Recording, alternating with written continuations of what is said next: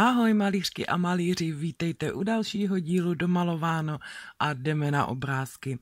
V oblakových omalovánkách jsem vzala Derwent Inktense na obrázky, bílou posku na nějaký detaily a Easy Creedy spolu se šablonou na pozadí.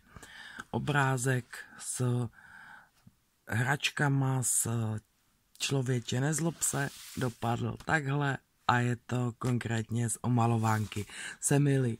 Tak, když už jsem měla intensky vytažený, tak jsem je použila na tady ten obrázek Paříže z magického města.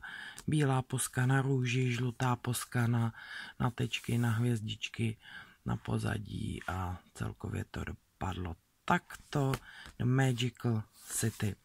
Pastelky Biano jsem vzala na tenhle obrázek krásky a dopadlo to takhle. I pozadí jsem jen tak lehonce vybarvila, takže jenom pastelky Biano a omalovánka August Reverie.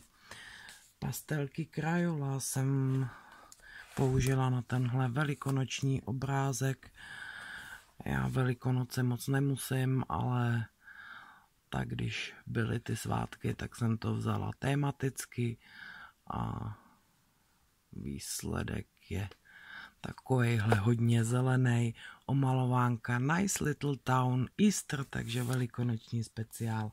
A poslední obrázek tohoto týdne je vybarvovaný pastelkama od Carandaš Pablo a tady ta pohodička na terase dopadla tak omalovánky The Word of Debbie McComber Come Home to Color.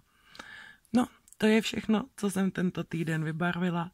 Vy se mějte hezky, malujte a já se na vás budu těšit u dalšího videa. Ahoj.